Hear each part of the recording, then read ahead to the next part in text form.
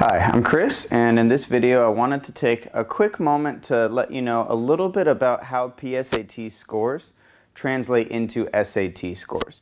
So it's a very simple thing that you need to do if you're trying to make sense out of your PSATs and you want to know, well, what does that mean in terms of my SATs? What does that score reflect in terms of how I would do on my actual SATs? All you need to do with each score, for example, in this sample set here, if you got a 54 in the critical reading, a 48 in the math, or a 61 in the writing, to convert that into an SAT score, you would simply add a zero to each one.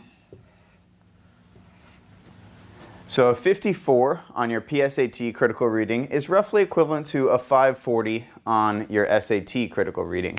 48, 480, 61, 610. So hopefully that lets you have at least some general idea in terms of what you can expect that your scores on the SAT will be given your PSAT results. Thanks for watching.